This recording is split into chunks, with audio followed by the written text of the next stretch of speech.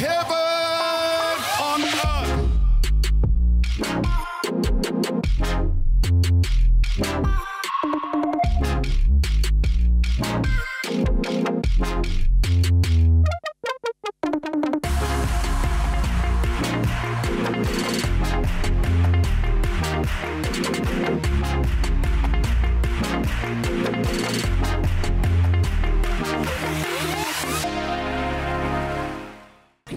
Давайте, друзья, воскресенье наш Господь и Спаситель воскрес из могилы. Вот почему мы приходим каждое воскресенье и возносим хвалу нашему живому Богу. Поэтому давайте прославим Его в Блумфонтейне, в Притории и в других городах ЮАРа, также во всех странах мира.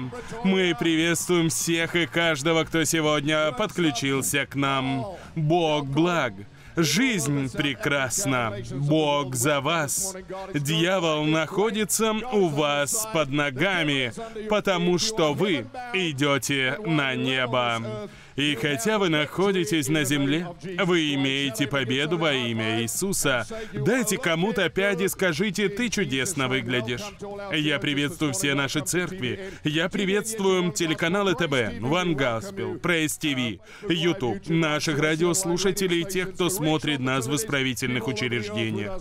Сегодня с нами люди со всего мира. Нас смотрят в России, Израиле, Америке, Европе и Иране. Многие говорят об Иране. Мы благодарны Богу, что проповедуем Евангелие там, и люди спасаются. Вот что удивительно. Сейчас многие мусульмане обращаются к Иисусу. Нас смотрят в России и в бывших коммунистических странах. Тысячи людей пишут нам каждую неделю. Я получаю огромное количество сообщений из Ирана, а также из Пакистана. Это невероятно. Мы приветствуем сегодня вместе с нами Индию, Китай и Африку. Дайте кому-то опять на этом месте и скажите, этот день сотворил Господь. Этот день сотворил Господь. Можете садиться. Спасибо.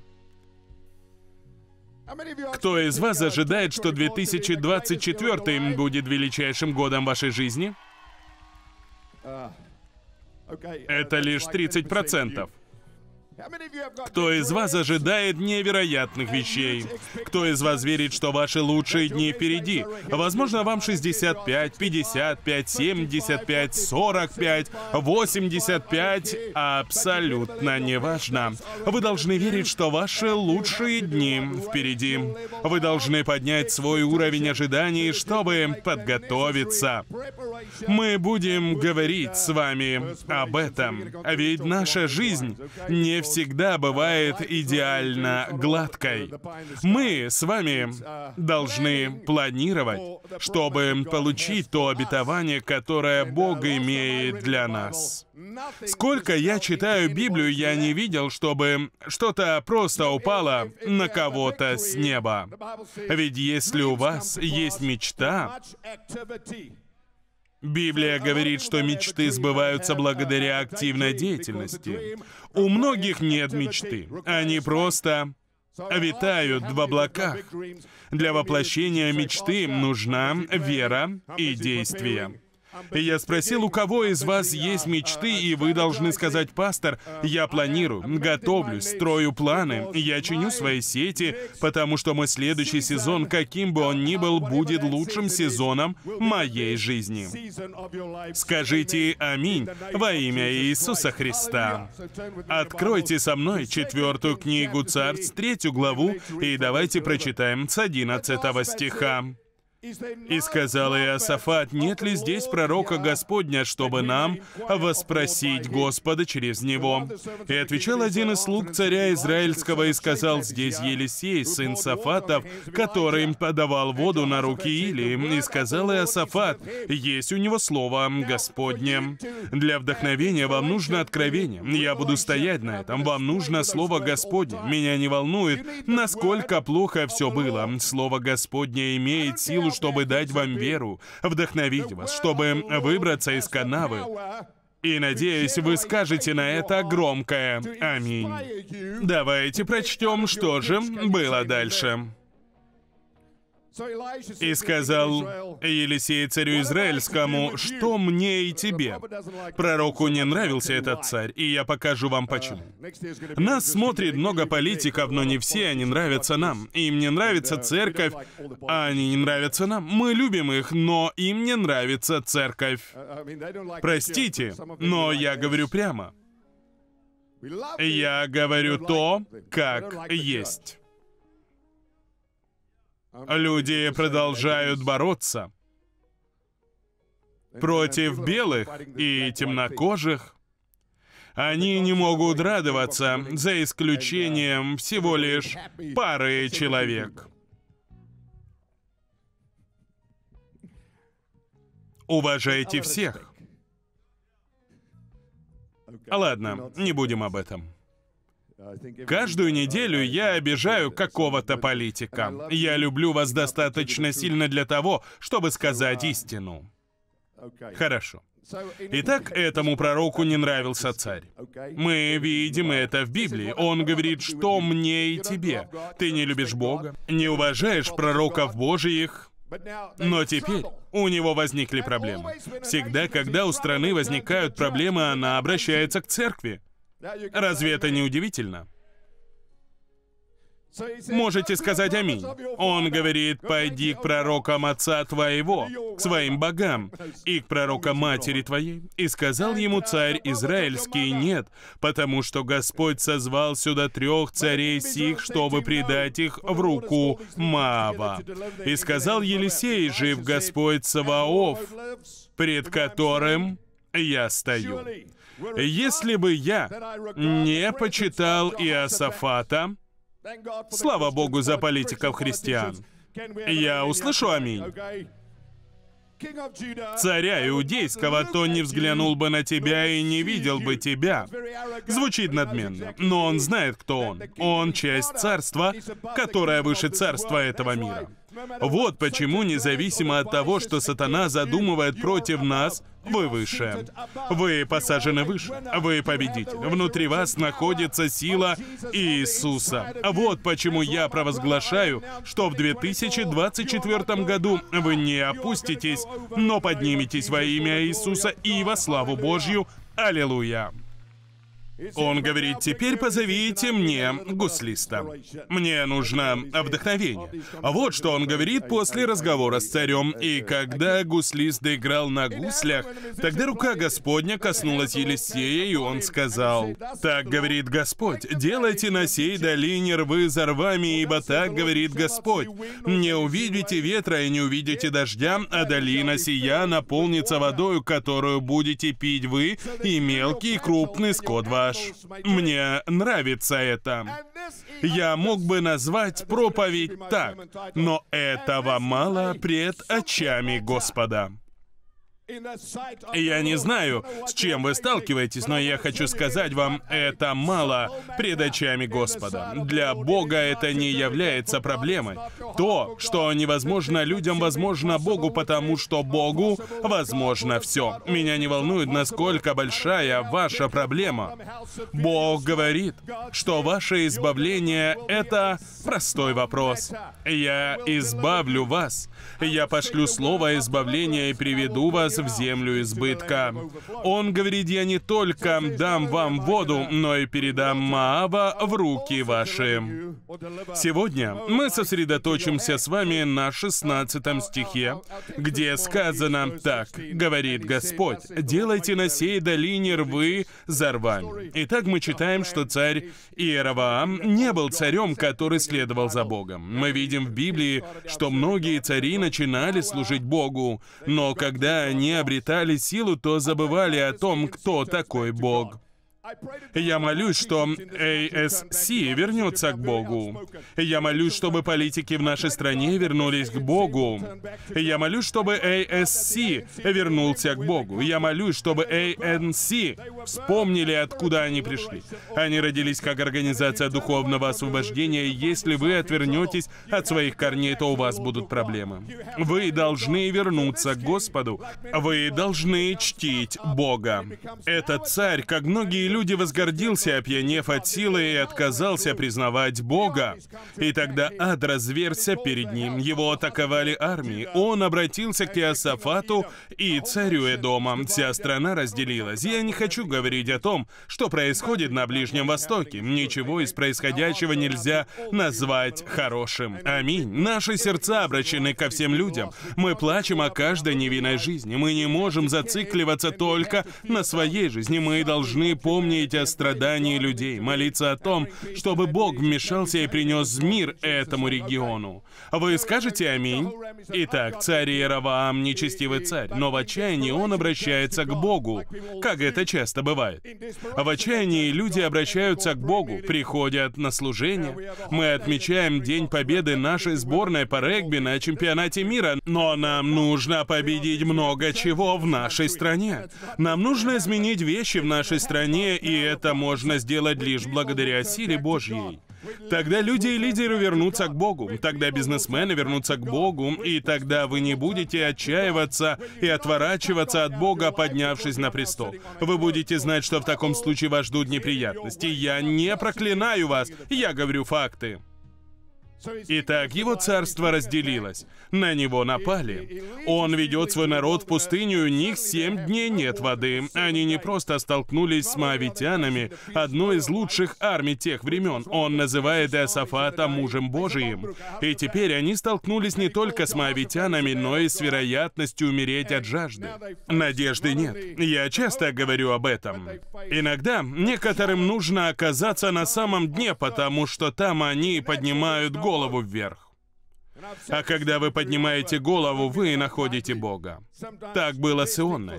Когда он был в утробе кита, то воззвал к Богу, и в то самое время Господь услышал его. Меня не волнует, кто вы и где вы. Вы должны вознести свой голос и возвать к Богу живому «Аллилуйя», потому что Он ответит на вашу молитву, проговорит киту, который проглотил вас. Бог освободит вас. Бог обновит вас. Если вы призовете имя Иисуса, то получите больше всего. Послушайте, ЮАР, мы должны возносить имя Иисуса Христа превыше всяких других имен.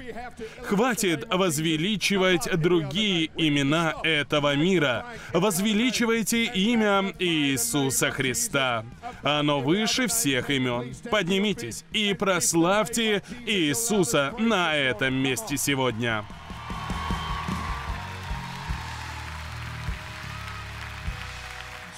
Итак, Царь ожидал великого чуда. Он позвал пророка. Пророк позвал музыканта, музыкант сыграл, и рука Господня сошла на пророка. И теперь пророк говорит, тебе нужно сделать нечто. Скажите соседу, тебе нужно сделать нечто. Хотите увидеть своего сына спасенным? Вам нужно будет сделать нечто.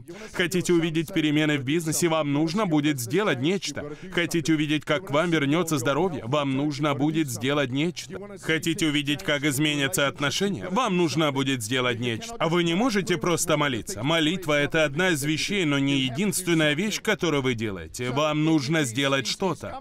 Он пришел к пророку, и рука Божья коснулась пророка. Он ожидал слова или чуда, что Бог сделает все за него.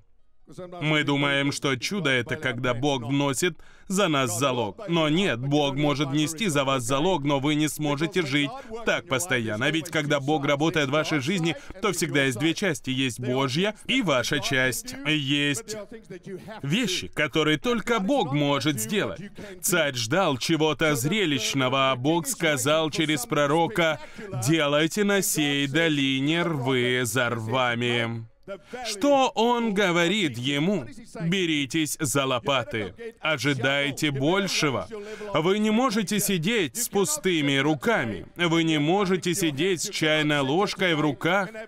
Вы не можете сидеть с маленькой лопаткой в руках. Вы должны взять свою лопату.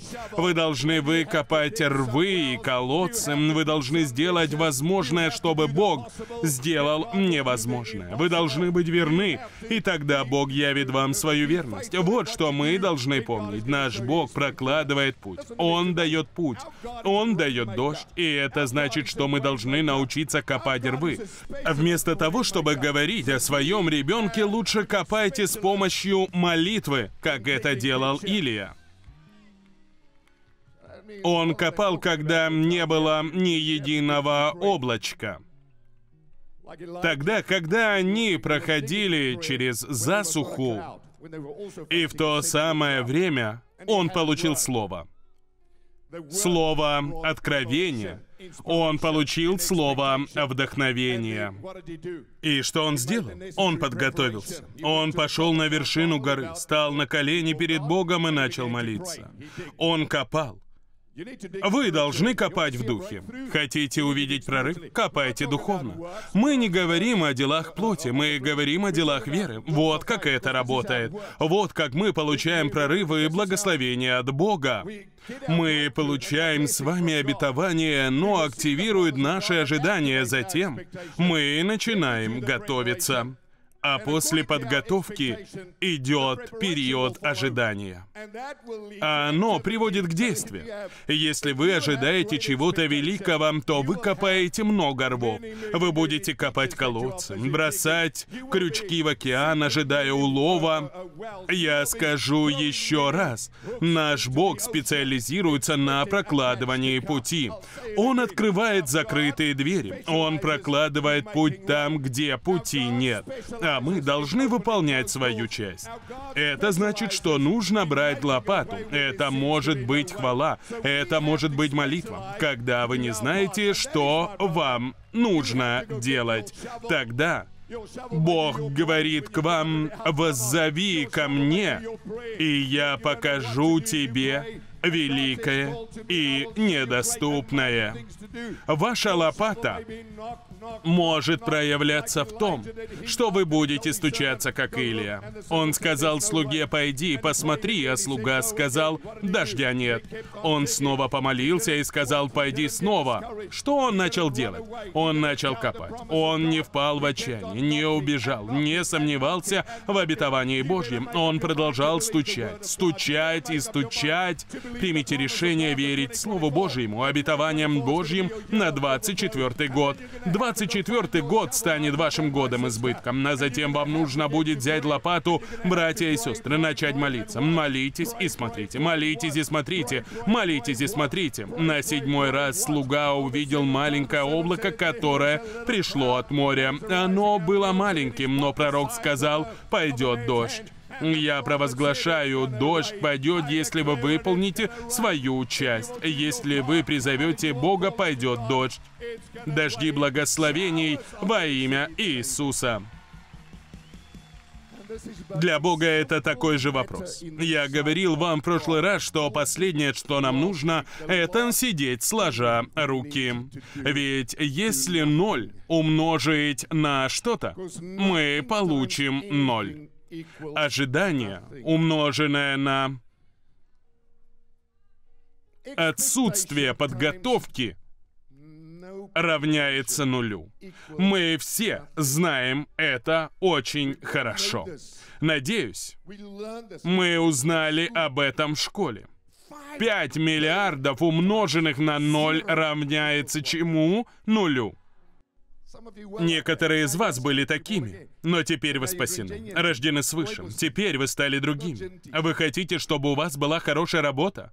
Вы не можете просто говорить о ней, молиться и верить. Пророк не пришел к царю и не сказал «Верь». Он говорит царю то, что царь хочет услышать. Он говорит, вам придется копать рвы. Бог сделает свою часть, но вы должны сделать свою. Вы должны получить право. Слово пришло. Бог сказал, я избавлю тебя, благословлю тебя. Он говорит, это может казаться нелогичным, но ты должен сделать это. Вспомните Неймана, но он хотел получить чудо. Пророк сказал ему пойти и семь раз окунуться в Иордане. Он ушел в ярости и сказал, я думал, что он выйдет, махнет рукой, и моя проказа уйдет. А служанка сказала ему, если бы он сказал вам сделать что-то сложное, разве вы бы не сделали этого? Почему бы вам не сделать то, что Он сказал? Иногда нам кажется, что то, что Бог говорит нам сделать, ниже нас.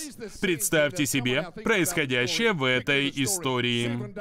Они семь дней находятся в пустыне, семь дней без воды. Боже, дай чудо! Мы умираем от жажды. А Бог говорит, соберите все оставшиеся силы в кулак и выкопайте рвы в долине. Не один ров, а рвы. Братья и сестры, эти люди работали целый день. Они устали, но продолжали работать, потому что это и есть вера. Вера связана с делами. Вера отвечает на слово от Господа. Петр поступил так же, когда рыбачил всю ночь и ничего не поймал. Господь сказал ему, отправься на глубину вновь. Петр сказал Господу, мы рыбачили всю ночь и не поймали ничего, но по слову твоему, Слово Божье всегда является основанием нашей веры основанием наших действий и ожиданий. Не имеет значения, с чем вы сталкиваетесь в этом мире. В этом мире все может выглядеть ужасно. Нам может казаться, что надежды нет. Физически они устали. Моавитяне окружили их. Они набрали две армии, чтобы атаковать их и лишить их наследия. И Иераваам обращается к пророку. «Это благость Божья. Вы можете бежать от Бога, но Бог не отвернется от вас. Вы можете отказаться от Бога, но Бог не откажется от вас. Вы можете бросить свои мечты, но в тот день, когда вы обратитесь к Богу, ваша мечта снова оживет. Бог скажет вам, у тебя все еще есть будущее, надежда и право на жизнь. Я царь, альфа и омега. Обратись ко мне, и я исполню ту мечту, которую поместил в твое сердце. О чем я говорю? Мы должны выполнить свою часть. Мы должны принять решение, во что мы с вами верим. А потом нам нужно браться за дело. Люди получают слово от Бога, а затем идут спать. Нет. Вы верите, что Бог даст вам работу? Вставайте, одевайтесь и с правильным отношением идите и стучите в двери. Меня не волнует, что сто человек скажут вам «нет», а вы получите работу. Правильный человек наймет вас. Отправляйте свое резюме по всей притории Блумфонтейну. Верьте, что когда вы будете стучать, когда будете копать, учиться, Бог откроет перед вами абсолютно любые двери во имя Иисуса Аминь. Вы должны сделать все возможное. Если вы хотите увидеть Божий дочь в своей жизни, в вашей руке должна находиться лопата. Мой вопрос звучит сегодня так. Какая лопата в ваших руках? Возможно, вы проходите фазу депрессии. Бог говорит, что в такие моменты вы должны облечься в одежды хвалы. Вы скажете, пастор, но мне хуже, когда я славлю. Уверен, эти люди не были в восторге от того, что им нужно было копать. Они устали, хотели пить, они не пили воды семь дней. Его язык прилипал к рту. Он нуждался в помощи, но он должен был выполнить свою часть, а на следующее утро, когда они принесли жертву, вот почему церковь так важна. Здесь мы приносим хвалу, поклонение. Пришел Дух Божий. И когда они поклонялись Богу, принося жертву Богу, то мы упускаем с вами что есть духовная и физическая сторона. Мы упускаем это. Вы должны идти на работу. Вы должны идти, как Петр, с обновленными ожиданиями. Он всю ночь рыбачил и ничего не поймал. Но вы были верны, вы молились. Бог говорит, что вы сможете вернуться. Оставьте место для Бога, забросьте сети, сделайте возможное, а Бог сделает невозможное. Вам не нужно полагаться на свое разумение. Доверяйте Богу, и вы получите другие результаты, когда рука Божья будет на вашей жизни. Дорогие друзья, когда мы остаемся пассивными, ничего не меняется меняется. Когда мы думаем, есть пословица, что дорога в ад устлана добрыми намерениями. Мы говорим о спасении. Библия ясно говорит, как они услышат без проповедника. Библия говорит, что Бог решил спасти людей юродством проповеди. Мы можем молиться до возвращения Иисуса, но никто не спасется. Нужно, чтобы кто-то начал копать, свидетельствовать, делать возможное. А вы хотите чтобы ваша ситуация изменилась. Вам нужна лопата. Сначала вам нужно слово от Бога, а затем, как Исаак в Бытие 26 во время второго голода, когда Бог был с ним, он выкопал колодец, и Бог наполнил колодец водой. Тогда еще была и засуха. У филистимлян не было воды. А вода — источник жизни. Они лишились его. И каждый раз, когда Исаак копал, Бог благословлял его. И то же самое Бог говорит и вам, я благословлю дела твоих рук. Бог говорит, я благословлю все, чего ты коснешься. Но вы должны коснуться этого. Вы должны положить руки на больных. Должны молиться, стучаться в закрытые двери, искать, пока не найдете, просить, пока не получите. Мы не можем получить Слово Божье и не делать ничего. Мы должны взяться с вами за дело. Мы должны делать что-то. Аминь. Я скажу это снова. Ваши ожидания и великие обетования, умноженные на отсутствие деятельности, равняются нулю.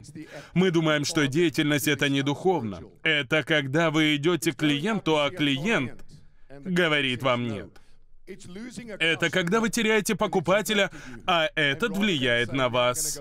Но вместо того, чтобы сказать, я пойду к трем клиентам, буду работать активнее во имя Иисуса, мы сдаемся. Одним было легче копать, другие же наткнулись на камни, когда начали копать. Некоторые из вас смогли наткнуться на камни в бизнесе, в отношениях, финансах, я не знаю, но я знаю, что Бог обещает, что несмотря на то, с чем вы столкнетесь, Бог может изменить это. Он изменит это. Он хочет изменить это. Бог говорит, что каким бы сложным ни был ваш вызов, он является простым для Бога. Мне это нравится. Бог говорит о себе. Он говорит и думает, что это сложно. В Еремии он говорит, для меня нет ничего сложного. Он говорит, для меня нет ничего сложного. В Марка 10 он говорит, что для Бога нет ничего невозможного. Если у нас есть ожидания, то наша подготовка приведет к бурной деятельности не слабой деятельности. Большая мечта и слабая деятельность. О чем я говорю? Мы должны взяться за дело, семья. Мы должны планировать, копать. Вы должны заняться маркетингом в своем бизнесе. Займитесь обучением своего ребенка. Займитесь своими делами, чтобы увидеть, как обетование Божье исполнится в вашей жизни. Мы знаем, что ребенок Шанель продолжает развиваться. Ребенок — это уже само по себе великое чудо. Он не должен был выжить. Но этот ребенок жив, и он прекрасен. Но он не совершенен сам по себе. С ним постоянно работают. Доктора делают свою часть, физиотерапевт делает свою, родители делают свою, медики делают свою, и вместе мы видим чудо. Все выполняют свою часть работы. Мы не просто молимся и ждем, когда все изменится. Мы молимся, получаем слово от Бога, а затем делаем то, что можем. Мы отправляем этого ребенка к физиотерапевту, а физиотерапевт садится с этим ребенком и начинает работать с ним. Он садится и двигает, двигает, двигает ногами, чтобы мышцы росли. Однажды я выведу этого ребенка на сцену, чтобы показать всем вам, что он чудо. Но сейчас он в процессе развития. Аллилуйя. Люди говорят, я получил обетование, и если оно от Бога, то оно исполнится. Нет. У нас есть обетование, ожидание. И когда враг атакует нас сомнением, мы держимся за обетование. Мы настроены решительно, мы готовы копать глубже, решительнее, громче. Мы славим громче, мы отдаем больше, мы благословляем и одобряем других. Ведь лишь тогда, когда мы делаем то, что можем, мы можем увидеть, как Бог делает то, что может сделать только лишь Он один.